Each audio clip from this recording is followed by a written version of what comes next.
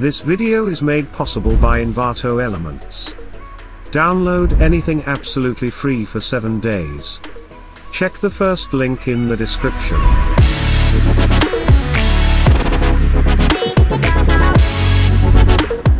Hey everyone, welcome back to my After Effects tutorial.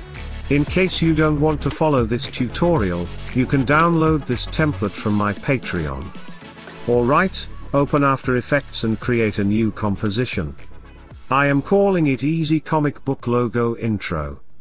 As always, I am using the 1920 by 1080 resolution, at 30 frames per second, and my duration is 10 seconds longer. You are free to use your own settings. Now the first step is to import your images into the project. Please note, that you can use any format image you want, such as JPEG, PNG, or even WebP. I have arranged all of the images in a folder, and each image's dimensions are the same, that is 1920 by 1080. Because of the copyright, I won't be able to share these comic images, as I have downloaded them from Google. Anyway, after selecting the images folder, click on this import folder button, and it will import all of your images with the folder. This way the project will be more organized. Now open this folder, select all images using the shift key on your keyboard, and place it on the timeline. I am using around 40 images. Now zoom into your timeline, until you can see two frames gap. Then go to the 3 frame position. Make sure all of your layers are selected, then press P to open the position. Here add a keyframe on it. Then go to the first frame position, and change the last position value to negative 540. It will place all the images above the preview window, and make this type of animation. Not bad. Make sure these position keyframes are applied on all layers. Now select all keyframes, and press F9 to easy ease them. Open Graph Editor, in case your graph does not look like this, then right click here and choose Edit Speed Graph. Now change the curves to something like this. Switch back to the main timeline, and now I am also going to add the motion blur. In case this switch tab is not available for you, then right click here, go to the columns, and choose switches, as well as the modes because we are going to use them. Turn on the motion blur for all layers, and now we have this type of animation. Let's go to the end keyframe position. Make sure to select all your layers. You can do it by pressing Ctrl, or Command plus A on your keyboard, and then press Option, or Alt, plus the square bracket close key on your keyboard, to trim your layer. Now right click on your layers, go to the keyframe assistant, and select Sequence Layer. Hit OK, and it will align your layers in a sequence. Zoom out a little, and this is how it looks. But this placement is wrong, because we have selected the layers in the wrong order. Don't worry, we will fix it very easily. Select the layer which you want to place on top, then hold the Shift key, and select the layer which you want at the bottom. Let's minimize the layers first to get some room. I am also increasing the length of the layers, so that they will stay for a little longer. Now unselect any selected layer, then scroll to the bottom, and select the bottom layer. Then press and hold the Shift key on your keyboard, and select the top layer. Now press Ctrl, or Command plus X to cut, and then press Ctrl, or Command plus V to paste all the layers. It will fix this layer order. If this step was confusing for you, I will make a separate video on it.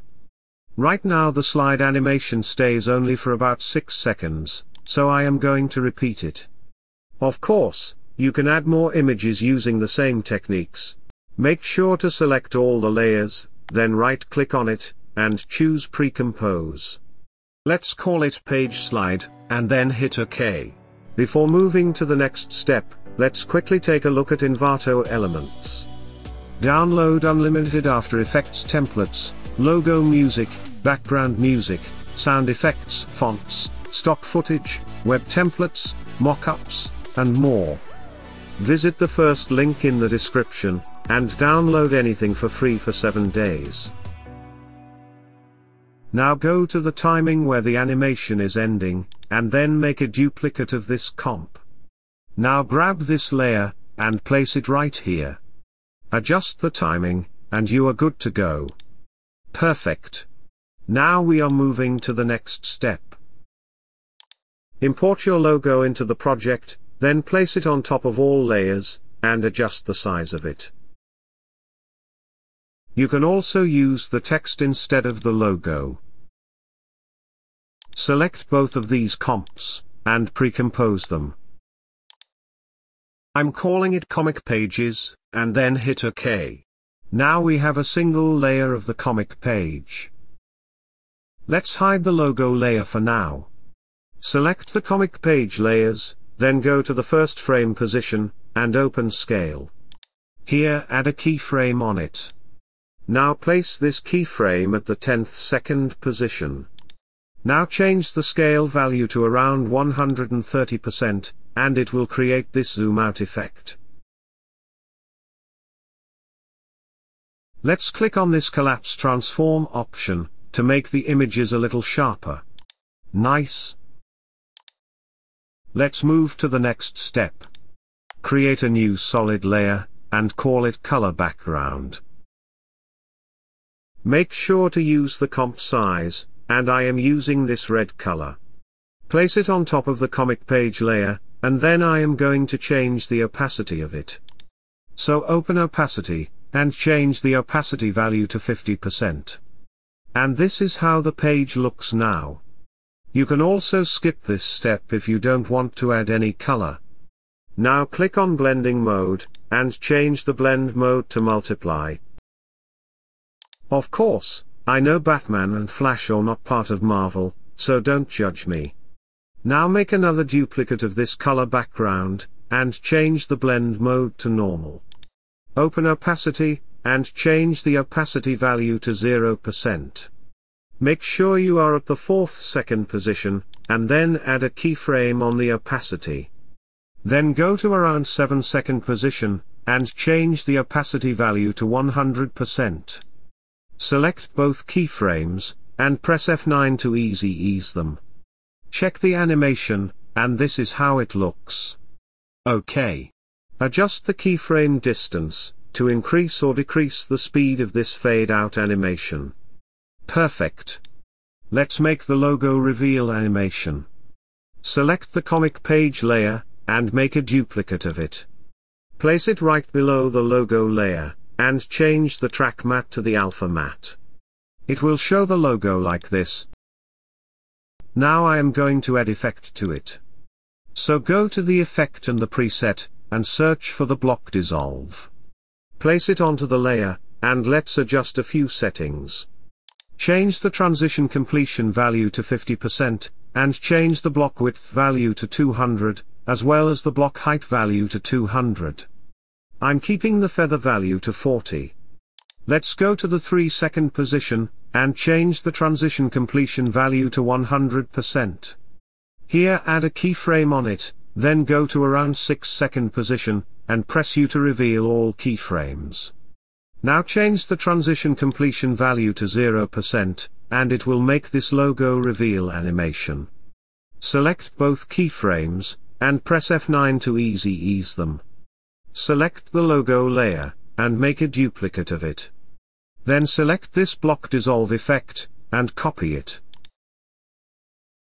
Select the top logo layer, and paste it right here. Let's turn on the visibility of it, and then press U to reveal all keyframes. Let's align this layer at this position, and make sure to match the end of this layer with the composition duration, and this is how it will look. Let's adjust the placement, and this is looking much better. Now minimize all layers, to get some room. Then select the logo layer, go to around 4 second position, and select the bottom logo layer as well. Now open Scale, and add a keyframe on it. Then go to the 8th second position, and change the scale value to a smaller one. Now select all keyframes, and easy ease them. Open Graph Editor, and change the curves to something like this. Switch back to the main timeline, and now we are done. Check the animation, and this is how it looks. So this is it for today, thank you for watching this tutorial, I will see you in the next one. Till then, good luck, and peace.